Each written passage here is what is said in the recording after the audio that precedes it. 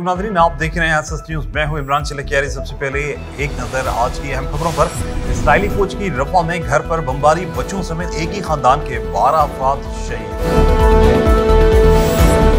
खारजा ने पाकिस्तान फजाई हदूद की खिलाफ वर्जी पर ईरानी नाजिम अलमूद को तलब कर लिया।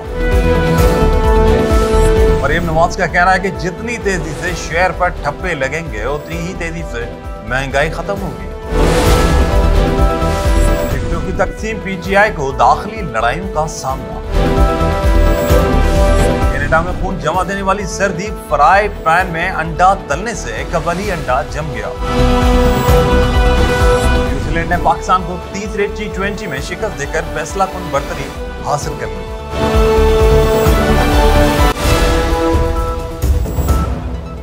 इसराइली फौज ने गजा के पनाह गजीरों के कैंप रफा में घर पर बमबारी करके बच्चों समेत एक ही खानदान के बारह अफराद को शहीद कर दिया। सात अक्टूबर के बाद से इसराइल ने अपनी जारियत को गजा पर जारी रखा हुआ है, जिसके नतीजे में अब तक शहीद बच्चों की तादाद दस हज़ार से जायद जबकि इसराइली हमलों में शहीद फलस्तीन की तादाद चौबीस हज़ार दो सौ पिचासी हो गई है। तिरसठ हज़ार से जायद फलस्तीनी जख्मी हो चुके हैं। इसके अलावा गजा का तवील तरीन मौसलाती ब्लैकआउट भी पाँचवें रोज में दाखिल हो गया है। उधर हमास के जंगजुओं ने इसराइली फौज पर जवाबी हमले जारी रखे हुए हैं।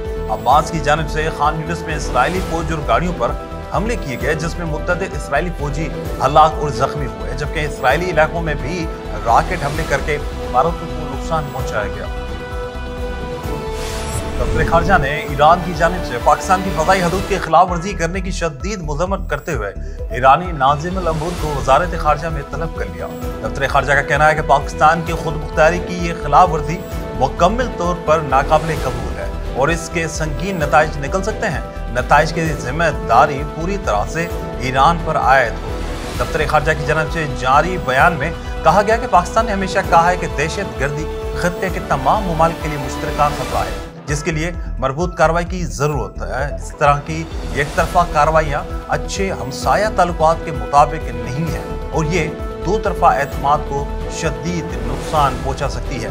बयान में कहा गया कि पाकिस्तान ईरान की जानब से अपनी फजाई हदूद की बिला इश्तियाल, खिलाफ वर्जी और पाकिस्तानी हदूद में हमले की शदीद मजम्मत करता है।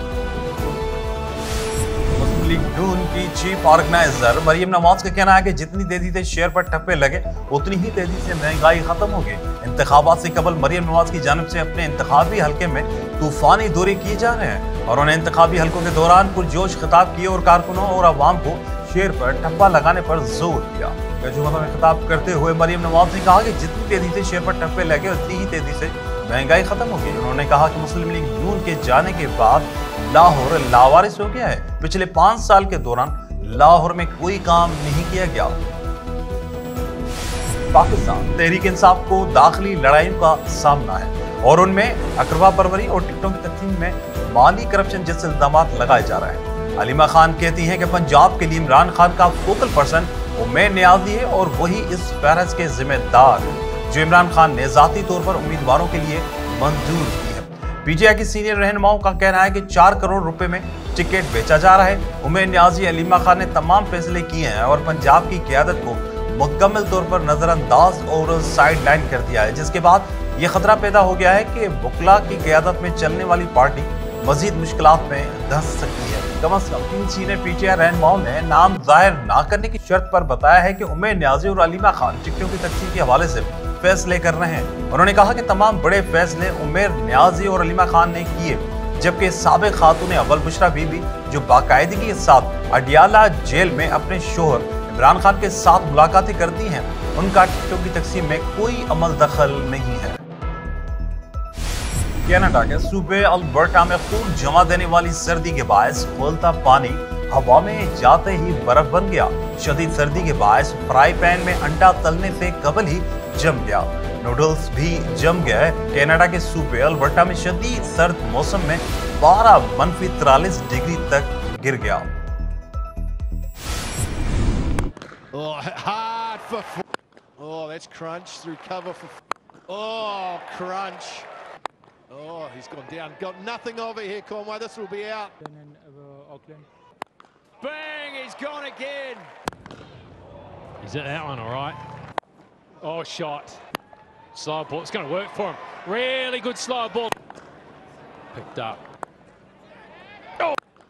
Bang, that's a really New Zealand ने मुसलसल तीसरे टी ट्वेंटी मैच में पाकिस्तान को शिकस्त देकर फैसला कन बरतरी हासिल कर ली न्यूजीलैंड के शहर डिनाडेन में। जारी पाँच टी ट्वेंटी मैचेस के सीरीज़ के तीसरे मैच में पाकिस्तान ने टॉस जीतकर पहले फील्डिंग का फैसला किया था।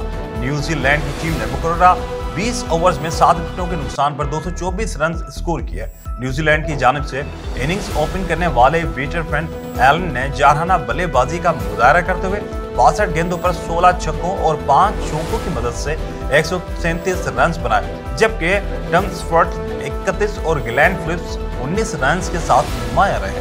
पाकिस्तान की जानब से हारिस रऊफ ने अपने चार ओवर्स में 60 रन देकर दो विकेटें हासिल की, जबकि कप्तान शाहिद आफरीदी, जमान खान, मोहम्मद नवाज़ और मोहम्मद वसीम एक एक विकेट हासिल कर पाए। 225 रन के हदफ के ताकुब में कौमी टीम 20 ओवर्स में सात विकेटों के नुकसान पर सिर्फ़ एक सौ उनासी रन बना सकी।